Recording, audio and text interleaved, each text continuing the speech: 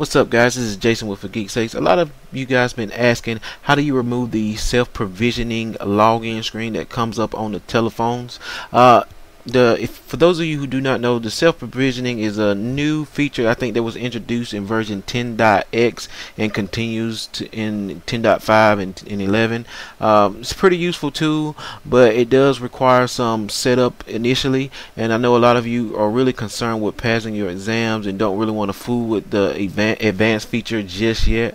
Um, I'll also do a video you know in the future showing you how to set up the self-provisioning um, feature but for now I'm just gonna do a video showing you how to remove it. And believe it or not it's almost over. It's really simple. All you have to do is uh, go to the device level of the telephone scroll down a ways and you see it right here under the external external data location information.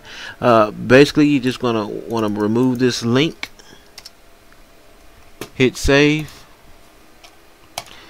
and reset your phone and that will go away and your phone will look like you're probably used to look seeing it in just the extension display.